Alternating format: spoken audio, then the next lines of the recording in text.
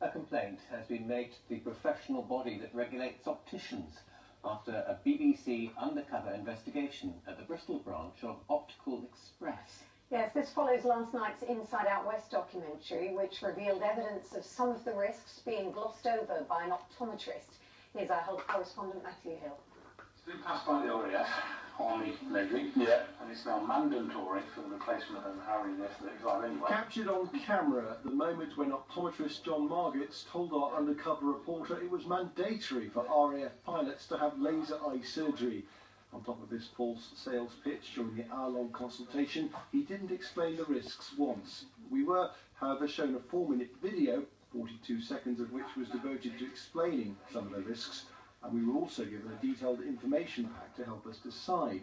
We were still a bit confused, so we checked with him on the way out. And so it's 100% safe.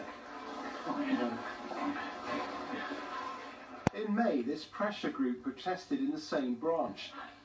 Why not? Why not? A surgical environment. They interrupted a demonstration of laser surgery to local optometrists, who Optical Express were offering £500 when they referred patients. Company saying this is to compensate independent opticians for jointly caring for the patient. The campaigners have now referred what Inside Out West discovered to the General Optical Council.